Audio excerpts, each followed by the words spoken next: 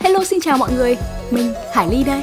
Như ở đầu video thì các bạn có thể thấy là mình có một job cần bay vào thành phố Hồ Chí Minh khoảng 3 ngày mà timeline thì cũng gấp và cũng xác định là một chuyến đi làm thế nên là mình cũng không có kế hoạch gì quá nhiều. Kiểu uh, mình cứ kệ.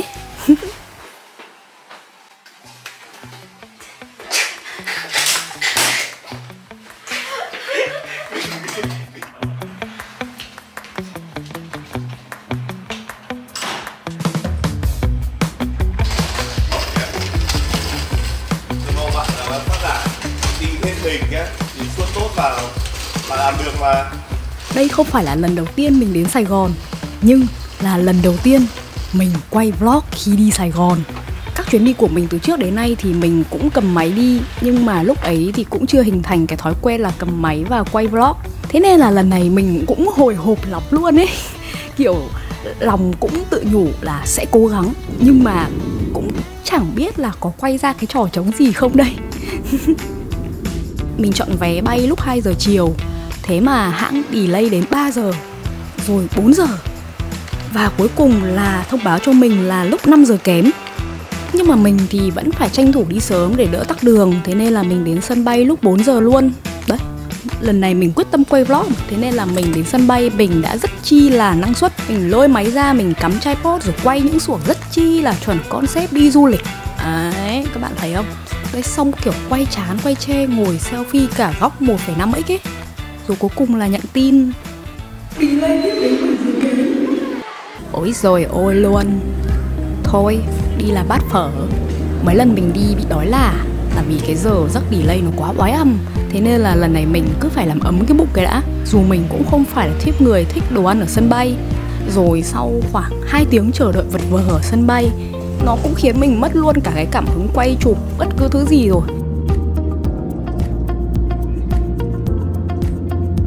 Mình đáp sân bay Tân Sơn Nhất lúc 10 giờ kém buổi tối.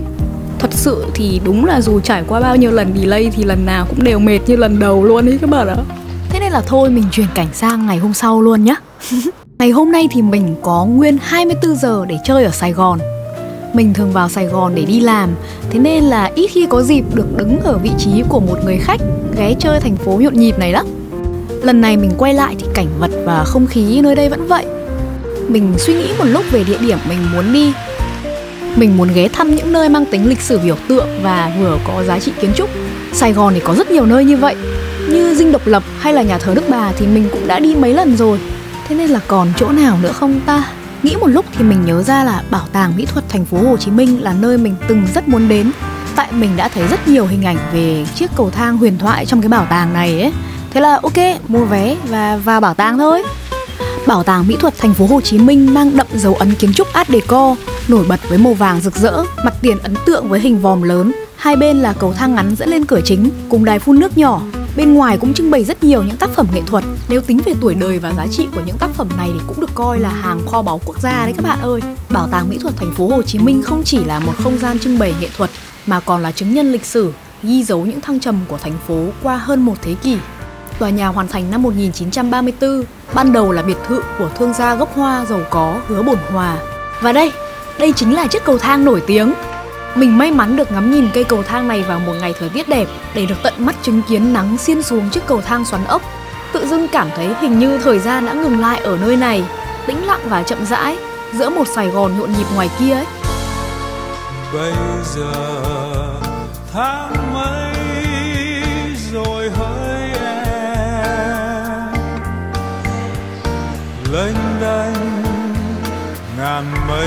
trôi êm đềm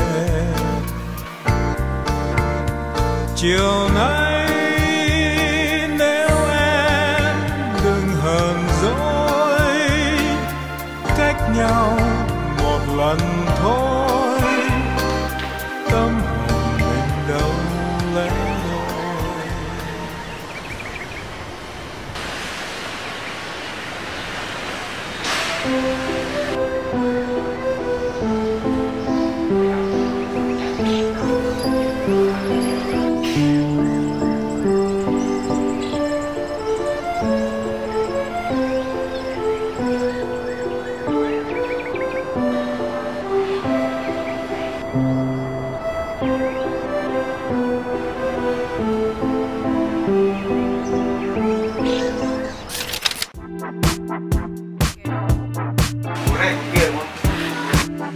Trưa thì mình có hẹn đi ăn đồ Thái ở bên quận 2 với anh chị mình.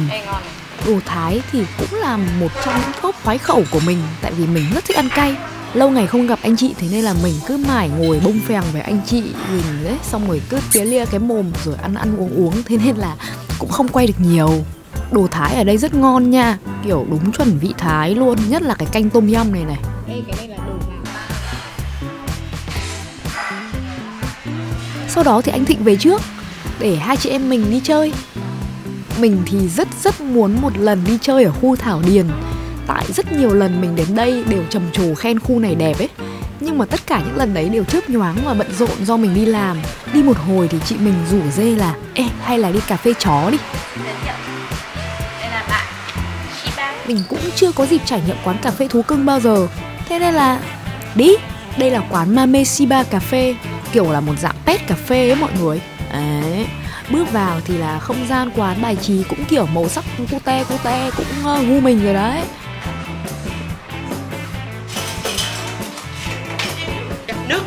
Khi vào thì mình sẽ cần mua vé. Mỗi vé đã bao gồm một đồ uống Và được lên thăm và chơi cùng các bé cún.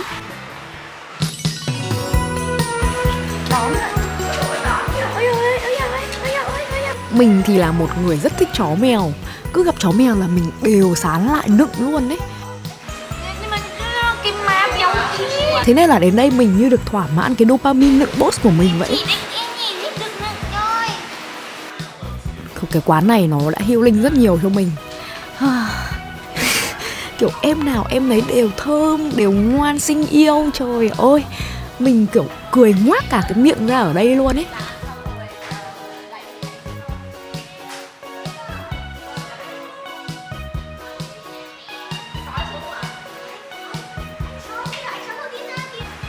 liếc à? Này tình. Ừ Đào mày đào mày. Ừ. Đào máy này nhá Thiền định. Này á Thơm không?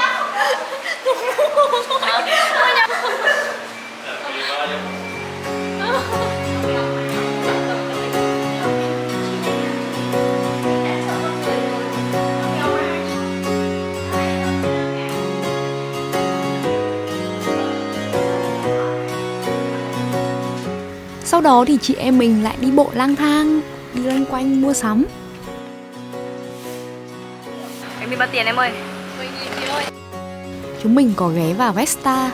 Đây là một nơi bán rất nhiều đồ lưu niệm sáng tạo đến từ các local brand Việt Nam. Cửa hàng thì rộng với nhiều màu Xong rồi nhiều mặt hàng đa dạng lắm luôn đấy các bạn ạ. Kiểu mình vào đây xong rồi hoái cả mắt Vì rất nhiều món màu sắc xong rồi ngựa ngựa. Xong rồi còn cả cái này nữa này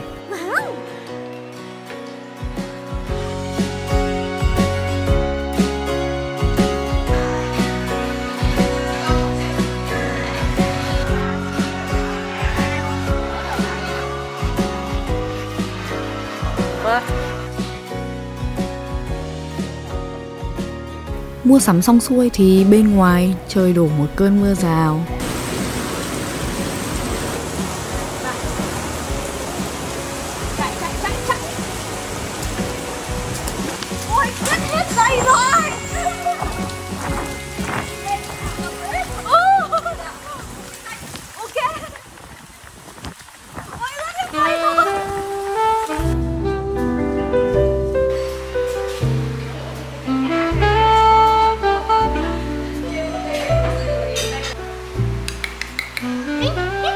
May quá, lúc đến quán ăn thì trời cũng ngớt mưa. Chị mình dẫn mình đến quán 15 gram. Không gian quán tạo cho mình cảm giác hoài cổ Với những chiếc đĩa than và dàn máy hát bật những bài ra nhẹ nhẹ. Đây là một quán ăn gia đình, quán bán đồ ăn theo style châu Âu.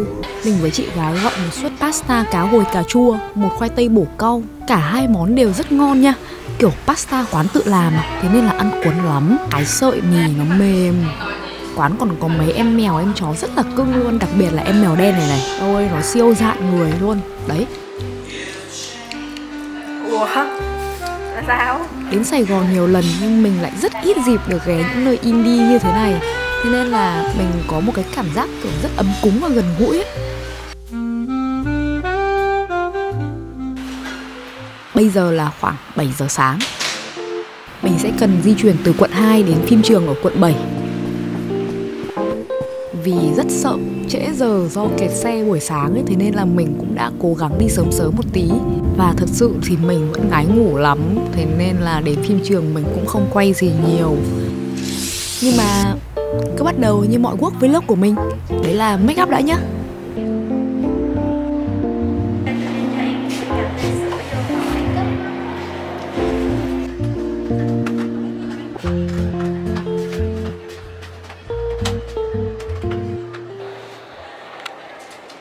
Đây là trang phục và đạo cụ của các talent ngày hôm nay.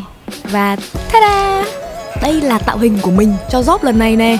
Hôm nay mình sẽ là talent quảng cáo cho TVC của Game Forsaken World 2 Mình sẽ trong vai tướng sát thủ Gunner. Đây là một cô nàng loli, nhưng cũng khá là hiếu chiến đấy nhá vì có bốn tướng lên hình cho TVC lần này, thế nên là ekip hôm nay cũng rất nhiều set phải quay, nhưng hầu hết là quay trên phông xanh này vì nhân vật của mình là một tướng hệ xạ thủ thế nên là mình cũng cần phải diễn những phân cảnh hành động sử dụng vũ khí.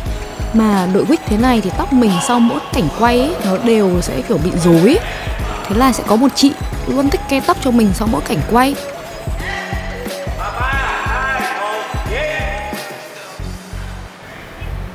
Trộm vía thì tính cách nhân vật cũng hao hao mình. Thế nên là set của mình cũng nhanh gọn lẹ lắm.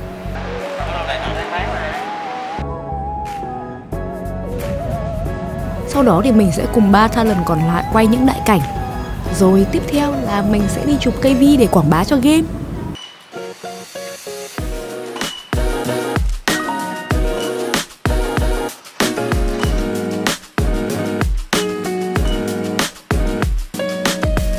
Đến chiều thì mình cần quay cảnh nhân vật trước khi biến hình thành tướng trong game. Mình được tháo tóc giả và trở lại là Hải Ly chứ không phải là Gunner nữa. Nội dung TVC lần này thì kiểu các nhân vật đời thường khi nhận lệnh là sẽ kiểu uh, kiểu Ale hấp biến hình thành tướng trong game và vào trận ấy. Lúc video này được đăng lên cũng là lúc TVC đã ra mắt. Thế nên là mình sẽ để các đường dẫn ở đây để mọi người xem thành quả chiếc job múa súng của mình nhé